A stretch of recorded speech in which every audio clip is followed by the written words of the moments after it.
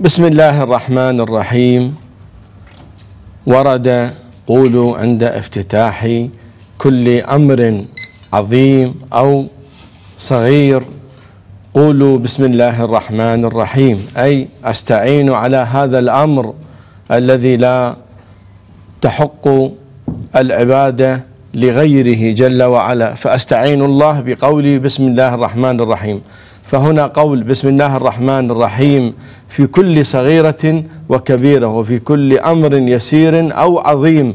تقول بسم الله الرحمن الرحيم أي أنه أستعين على هذا الأمر بالله العلي العظيم وبسم الله الرحمن الرحيم. وهو المجيب إذا دعي والمغيث إذا استغيث وهو الرحمن الذي يرحم عباده ويبسط الرزق عليهم. والرحيم بنا في ديننا ودنيانا وآخرتنا. وخفف علينا الدين وجعله سهلا خفيفا وهو يرحمنا بتمييزنا عن أعدائه.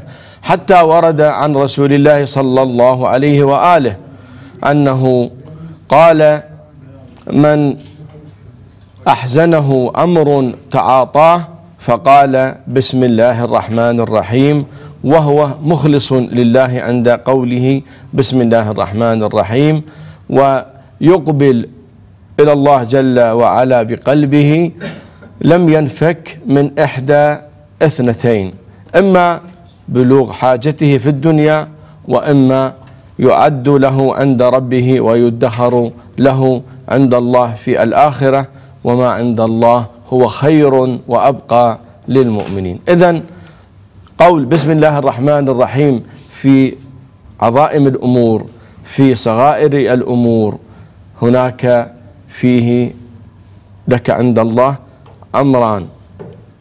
الأمر الأول أنه إما أن تقضى حاجتك في الدنيا أو أنه يدخر لك في الآخرة وما عند الله خير وأبقى للمؤمنين. هذه قصة واقعية حدثت في عهد علي أمير المؤمنين عليه أفضل الصلاة والسلام وفيها عبرة وفائدة أرجو الالتفات لها والاعتبار بها. دخل على أمير المؤمنين عليه أفضل الصلاة والسلام عبد الله بن يحيى وبين يديه كرسي فأمره أمير عليه السلام أن يجلس على هذا الكرسي فجلس على الكرسي. فمال به حتى سقط على رأسه أي أنه عندما أمره أمير عليه السلام أن يجلس على هذا الكرسي مال الكرسي به وسقط على رأسه فأوضح عن عظم رأسه يعني سالت الدماء وشج رأسه حتى بان عظم رأسه وسال الدم. فأمر أمير عليه أفضل الصلاة والسلام بماء فغسل عنه ذلك الدم. ثم قال له أمير عليه السلام ادنوا مني. فدنا منه فوضع يده الطاهرة المباركة على موضحته وقد كان يجد من ألمها ما لا صبر له.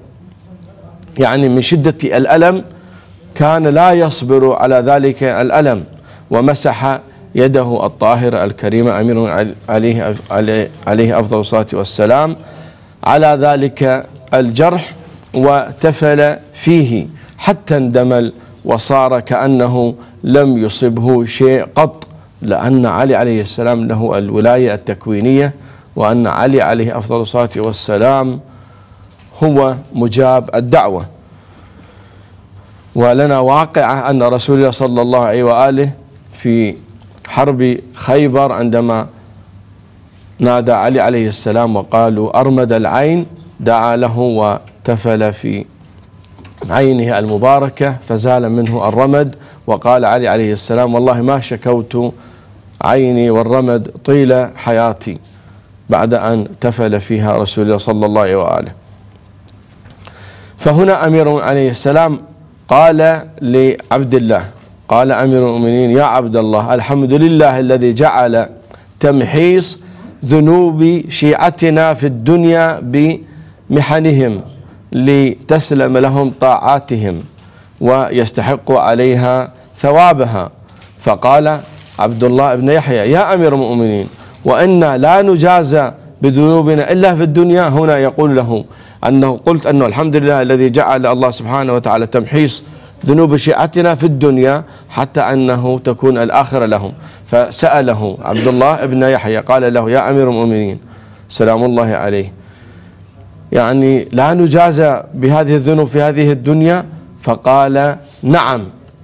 يعني الله سبحانه وتعالى للشيعي يعجل العقوبة له في الدنيا لكي يعطيه الآخرة. فهنا قال له عبد الله بن يحيى لا نجازى عليها في هذه الذنوب إلا في الدنيا. قال له نعم نجازى عليها في الدنيا وفي الآخرة الدرجات العالية إن شاء الله تعالى بشفاعة محمد وآل محمد عليهم أفضل الصلاة والسلام.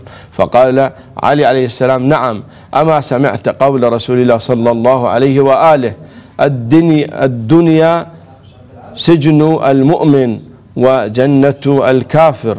إن الله تعالى طهر شيعتنا من ذنوبهم في الدنيا بما يبتليهم به من المحن. وبما يغفره لهم. فإن الله تعالى يقول وما أصابكم من مصيبة فبما كسبت أيديكم ويعفو عن كثير. حتى إذا وردوا يوم القيامة توفرت عليهم طاعاتهم وعباداتهم. وإن أعداءنا يجازيهم عن طاعة تكون في الدنيا منهم وإن كان لا وزن لها لماذا؟ لأنه لا إخلاص فيها. لأنه لا إخلاص معها حتى إذا وافوا القيامة حملت عليهم ذنوبهم وبغضهم لمحمد وآل محمد صلوات الله وسلامه عليهم وخيار أصحابه فقذفوا في النار. فقال عبد الله بن يحيى يا أمير المؤمنين قد أفدتني وعلمتني فإن رأيت أن تعرفني ذنبي الذي امتحنت به في هذا المجلس حتى لا أعود إلى مثله. التفتوا إلى جواب علي عليه أفضل الصلاة والسلام أمير المؤمنين. قال تركك حين جلست أن تقول بسم الله الرحمن الرحيم فجعل الله ذلك لسهوك. فعندما سهيت عن قول بسم الله الرحمن الرحيم عما ندبت إليه تمحيصا بما أصابك.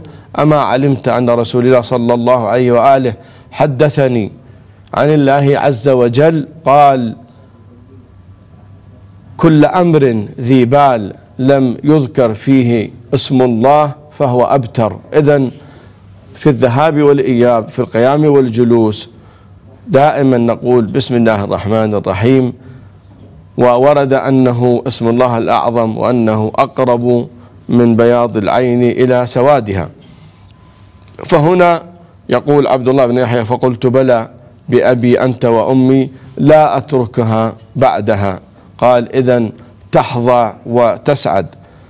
قال عبد الله بن يحيى يا أمير المؤمنين ما تفسير بسم الله الرحمن الرحيم؟ قال إن العبد إذا أراد أن يقرأ أو يعمل عملا فيقول بسم الله الرحمن الرحيم أي اسم الله الرحمن الرحيم على هذا العمل فكل عمل يعمله يبدأ فيه بسم الله الرحمن الرحيم فإنه مبارك له فيه.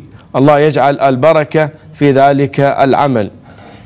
فإذا فائدة بسم الله الرحمن الرحيم أن كل عمل لم يبدأ بسم الله الرحمن الرحيم فهو أبتر.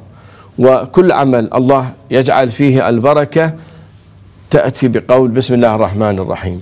فإذا عن علي أمير عليه أفضل الصلاة والسلام عليك أن تبدأ عند القيام والقعود والذهاب والإياب ولكل عمل تبدأ به وتختم. تقول بسم الله الرحمن الرحيم فإن فيها الأجر العظيم وفيها قضاء الحوائج واستجابة الدعاء والعمل إن شاء الله مقضي ومبارك.